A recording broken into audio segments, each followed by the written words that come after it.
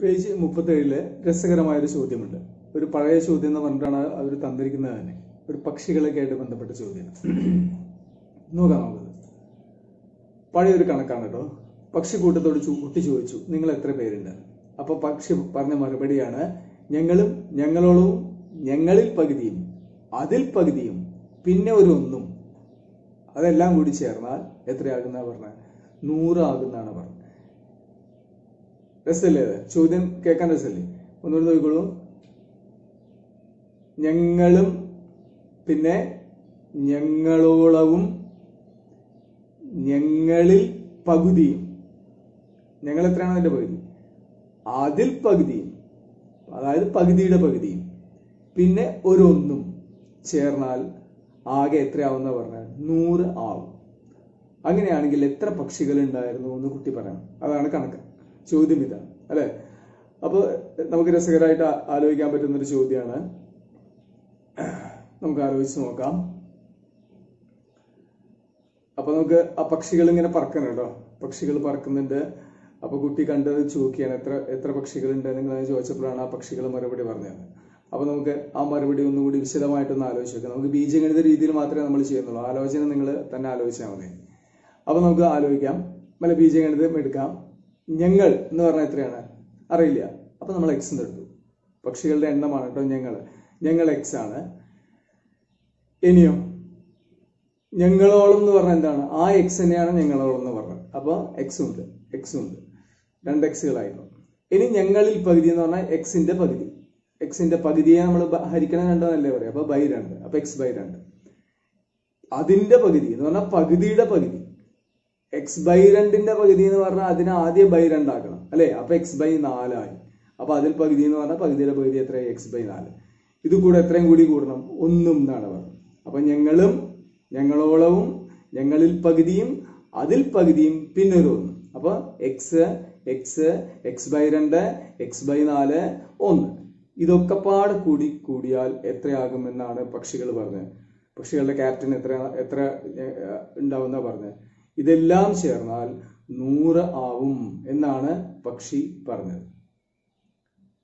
അപ്പൊ നമുക്ക് ബീജഗണിതത്തിൽ എക്സ് ആണ് നമുക്ക് കണ്ടുപിടിക്കേണ്ടത്. ആ എക്സ് കിട്ടാൻ നമുക്ക് എക്സും വേറൊരു സംഖ്യയായിട്ടുള്ള ഒരു ബന്ധം നമുക്ക് കിട്ടി.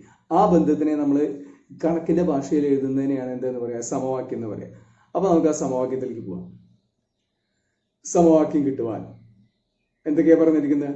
ഞങ്ങൾ എക്സ് വീണ്ടും ഞങ്ങൾ വീണ്ടും എക്സ് എക്സിന്റെ പകുതി അതായത് എക്സ് ബൈ രണ്ട്. അതിന്റെ പകുതി എക്സ് ബൈ നാല് പ്ലസ് ഒന്ന്. ഇതെല്ലാം കൂടി കൂടിയാൽ നൂറ് കിട്ടുന്നു എന്നാണ് പറയുന്നത് അപ്പൊ ഇതാണ് നമ്മുടെ സമവാക്യം.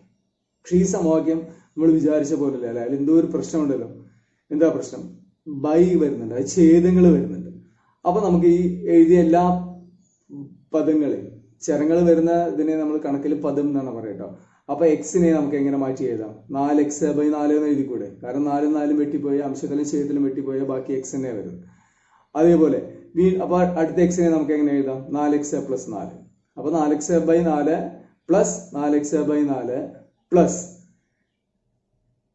രണ്ട് എക്സ് ബൈ നാല് പ്ലസ് എക്സ് ബൈ നാല്. ഇത് നിങ്ങൾ ഭിന്നസംഖ്യ പഠിച്ചിട്ടുണ്ടാവില്ല ഏഴാം ക്ലാസ്സിൽ അതിൽ നമ്മൾ ഇങ്ങനെയൊക്കെ ചെയ്ത് ഓർമ്മയുണ്ട്. ഇനി ഒന്നിനെ നമുക്ക് എങ്ങനെ എഴുതാം? നാല് ബൈ നാല് എന്ന് എഴുതാം. അപ്പൊ ഇതെല്ലാം കൂടി കൂടി എത്രയാവും? നൂറാവും. അത് നാല് എക്സ് ബൈ നാല് കൂട്ടണം. അത് ഞങ്ങളായി. നാല് എക്സ് ബൈ നാല് ഞങ്ങളും ഞങ്ങളും ആയപ്പോ പ്ലസ് രണ്ട് എക്സ് ബൈ നാല് ഞങ്ങളുടെ പകുതി പ്ലസ് എക്സ് ബൈ നാല് പകുതിയുടെ പകുതി പ്ലസ് നാല് ബൈ നാല് സമം നൂറ്. ഇപ്പൊ ഇവിടെ നോക്കൂ. ഇവിടെ എന്താ നമുക്ക് കിട്ടിയത്? ഈ എല്ലാ ഛേദങ്ങളും ഇപ്പൊ തുല്യമാണ് അല്ലെ? ഇതിന്റെ ആദ്യം നമ്മൾ എഴുതിയ പോലെ ആണെങ്കിൽ നമുക്ക് കൂട്ടി പറയാൻ പറ്റില്ലായിരുന്നു. അംശങ്ങൾ കൂട്ടാൻ പറ്റില്ലായിരുന്നു. അംശങ്ങൾ കൂട്ടണമെങ്കിൽ എന്ത് വേണം? ഛേദങ്ങൾ തുല്യമാവണ്ടേ?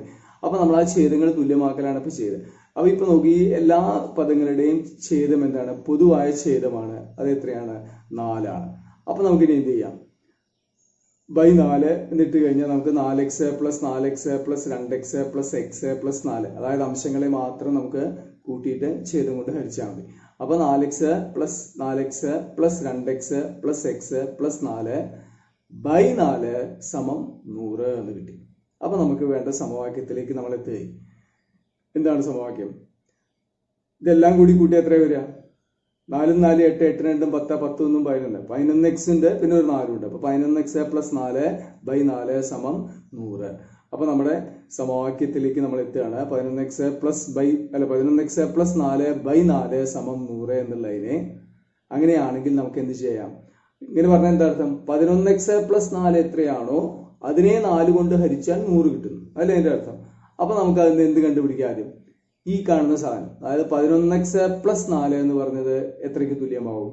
നൂറിനെ നാല് കൊണ്ട് ഗുണിച്ചതിന് തുല്യമാവും. അതായത് ബൈ നാല് അങ്ങോട്ട് പോകുന്നു വിപരീത ക്രിയയാവുന്നു അപ്പൊ നാനൂറ് നാനൂറ് എന്ന് കിട്ടി. ഇപ്പൊ എന്താ അർത്ഥം? പതിനൊന്ന് എക്സ് കൂടെ നാല് കൂട്ടിയാൽ നാനൂറ് കിട്ടുന്നു. അല്ലെ? പതിനൊന്ന് എക്സ് കൂടെ നാല് കൂട്ടിയാൽ നാനൂറ് കിട്ടുന്നു. അപ്പൊ പതിനൊന്ന് പതിനൊന്ന് എക്സ് കിട്ടാൻ നിങ്ങൾ എന്താ ചെയ്യേണ്ടത്? ആയതുകൊണ്ട് പതിനൊന്ന് എക്സ് സമം നിങ്ങൾ എന്താ ചെയ്യേണ്ടത്? നാനൂറിന്ന് നാല് കുറയ്ക്കണം. ഇവിടെ കൂടിയത് അവിടെ കുറയണം. അപ്പൊ മൈനസ് നാലാവും അപ്പൊ നാനൂറിന്ന് നാല് പോയാൽ മുന്നൂറ്റി തൊണ്ണൂറ്റി ആറ് കിട്ടി.